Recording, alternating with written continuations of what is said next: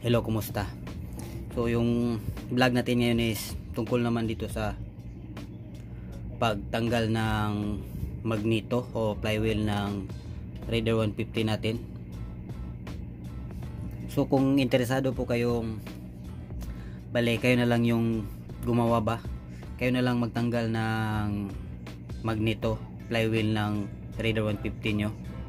Yung kailangan nyo po is yung pinaka-importante meron kayo nito no? Uh, flywheel puller.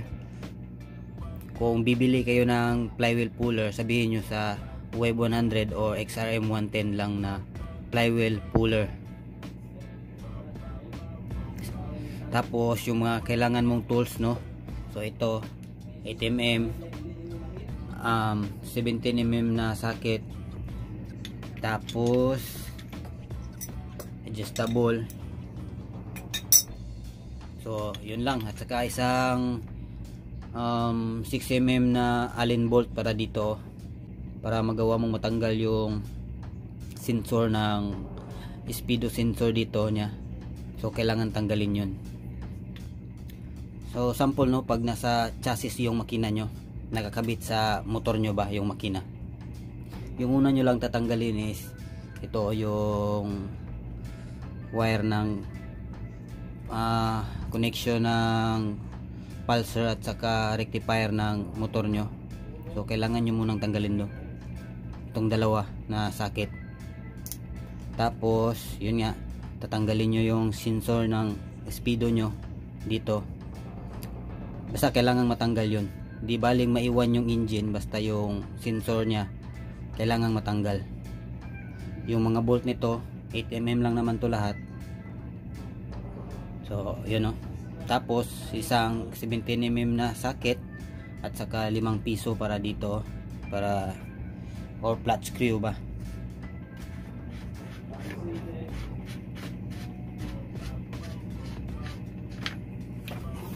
So, tanggalin natin no.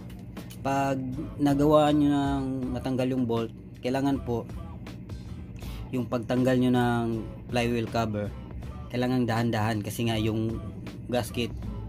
Nakadikit siya no? Nakadikit siya. So kung nagtitipid kayo kailangan dahan-dahan. Bali gawan nyo ng paraan ba na hindi ma punit yung gasket ng dito? So tanggalin natin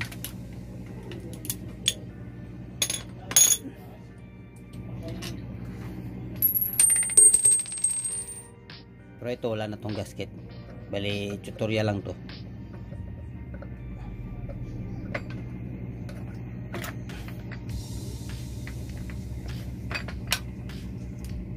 So tanggalin natin to.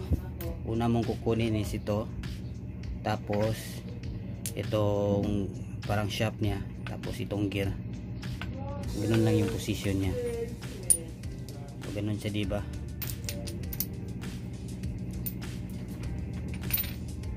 tapos para magawa mong tanggalin yung nut ng flywheel gagamit ka ng 17mm na socket. Tapos yung diskarte para ma para magawang ihugot itong nut kailangan meron ka rin ito um, 12mm na deep socket ba? Yung purpose niya is ganito. Nakikita nyo tong parang ito ba? Parang tawag nila dito igniter. Parang ganun. Yung gagawin nito is gagawin mong pang sandal ba? Ganun no? Tingnan nyo. Ganun no? Ganun. Dito dito mo lalagay siya. Tapos isasandal mo dito sa lalagyan ng sprocket. Ganun no? Ganun pero kasi pag nagtatanggal ka ng nut dito siya sa baba.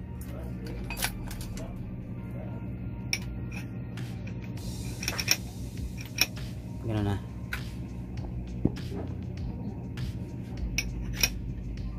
Gano'n yung paraan para magawa mong matanggal yung nut no? Tapos 20mm na socket ganun lang. Kailangan mas maganda kung meron kang kasama na hahawak nitong sakit. Tapos hugot mo lang. So ganun.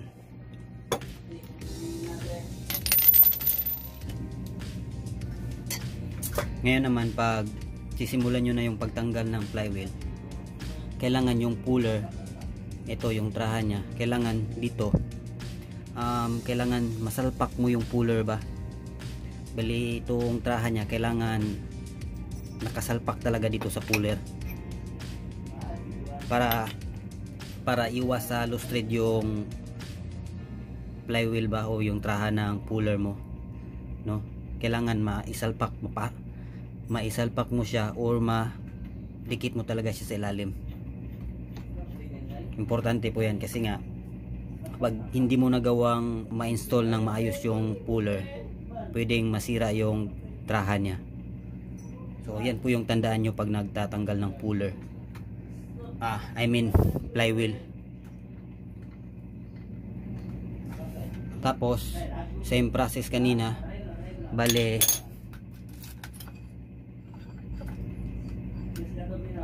balik mo lang yung ito sakit tapos ganun no? Bangi uh, sandal mo lang siya dito hugot dito sa puller. So ganun lang. Ngayon pag nagawa nyo ng matanggal so dahan-dahan. So yan po yung laman ng likod ng flywheel. So ito yung bindex drive. Kasama yung drive ng bindex. Yan o ganun yung posisyon niya so kung napapansin nyo po pag pinapatay nyo yung makina nyo merong parang lagitik kayong naririnig ba? So ito yun siya. So wala po yung problema. Wala yung, walang sira yung makina mo. Ito lang yun. Ngayon naman pag ibabalik nyo na yung flywheel so ganito pa rin. Pwedeng ito yung iunan nyo tapos yung flywheel ito ito yung dowel nya tapos yung parang kanal ng flywheel. Ganun lang. Isintro mo lang. Tapos ganun no? So yun siya. Tapos pag hihigpitan nyo na yung nut ba ng flywheel. So ganun pa rin. Same process. Ganun lang. Lagyan mo ng isandal mo siya sa spline ng sprocket tapos nut so ganun lang no? Medyo madali lang naman.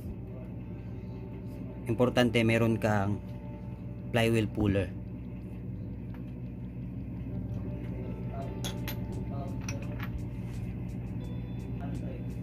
Tapos ito namang gear nya so ganun lang din oh.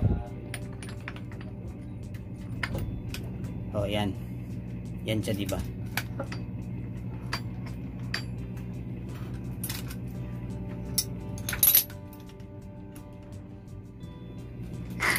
so ito yung tumutunog no? Pag nag off na kayo ng switch. Yan no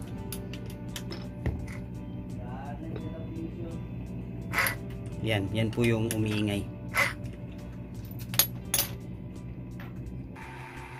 so ito naman ngayon yung ingay na sinasabi ko ba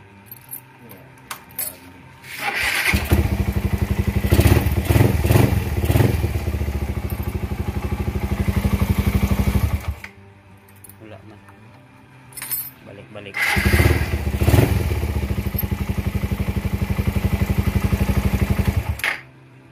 so yan no